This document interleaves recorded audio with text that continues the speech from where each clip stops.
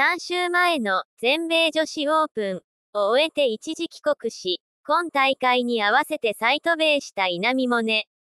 しかし、想定外のトラブルに見舞われた。ドライバーのヘッドだけ取られてしまって、到着後に預け入れていた荷物から取り出してヘッドカバーを外したところ、シャフトのみの状態になっていたという。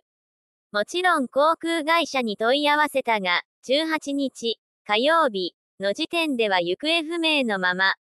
検品した旨を示すシールが貼られていたそうで、抜き取られてしまったのかな、と表情を曇らせた。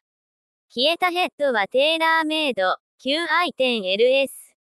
1月の米ツアー参戦時から使用している不動のエースだった。前日はスペアの手配が間に合わず、3W を使ってコースを下見した。なんとか1個だけ持ってきてもらったものを練習場で試したが、個体差で、なかなか同じヘッドっていうのはないと思うので、現地のメーカースタッフともコミュニケーションを取りながら必死の調整を続ける。直近4試合連続で予選落ちを喫し、一時帰国中にスイングを見直したばかり。今までの体の使い方と逆の感じ。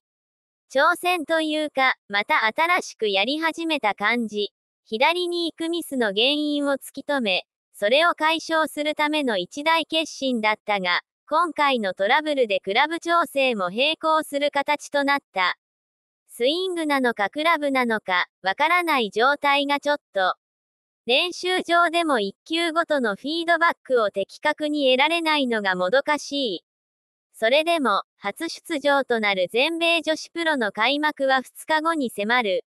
難しいですけど、これ、スイング改造をやりきって、試合でできる。できないを繰り返して良くなっていくと思うので、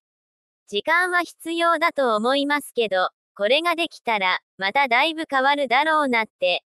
この日はプロアマ戦のため練習のみだった。